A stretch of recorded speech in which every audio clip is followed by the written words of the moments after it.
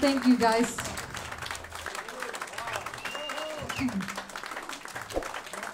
Do we know any more songs?